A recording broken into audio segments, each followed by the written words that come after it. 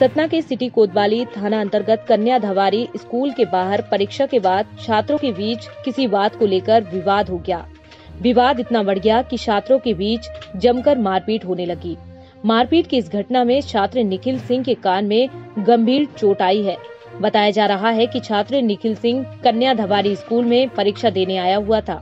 परीक्षा देने के बाद वह जैसे ही स्कूल के बाहर निकला, वैसे ही बाहर खड़े कुछ छात्रों ने घेर कर उसके ऊपर हमला कर दिया। घटना के बाद घायल छात्र और आरोपी छात्र सिटी कोतवाली थाने पहुँच गए, जहाँ पुलिस दोनों छात्रों के बयान दर्ज कर जाँच पड़ताल में जुट गई है।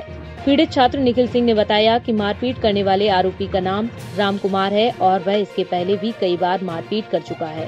गया इसलिए आई वो सवेरे गए, उसके हम देने गए मारपीट कर रहा है। तो वो हो गया वो लिखा दिया हम हाँ? वो लिखा दिया उल्टा सीधा। तो अभी गए अब चार लोग को पकड़ के लेके आए। हम बोलते हैं कि जब हम लोग सब लोग गए थे लेडीज़ सब सबको लिखाओ ना। खाली कहे चार लोग को लिखाए। किस कौन कौन भर अंदर अंदर एगो है उनका नाम है बता कितने लोग अंदर बंद है? चार लोग। कौन कौन है? नाम क्या है उनके? विनोद है। सुरेश है हम्म। सुमित है सुखेंद्र है। किस बात के लिए बंद है? पता नहीं यही तो बोल रहे हैं कि बताइए ना। नहीं पता बताएँ हमारे बच्चों को मारता है बार बार वही रिपोर्ट करता है वही पकड़ा देता है। हम्म। हमारा कोई सुन ही नहीं रहा। कब से चल रहा है ये सब?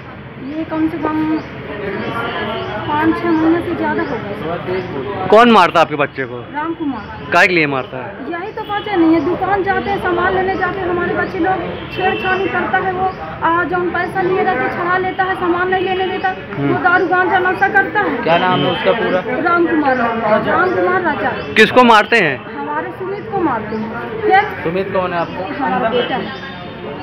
तो इसकी शिकायत आपने थाने में की है? हाँ दोबारा एस पी ऑफ़िस भी एक बार गए हैं, दोबारा यहाँ आए हैं, कोई सुनी ही नहीं रहा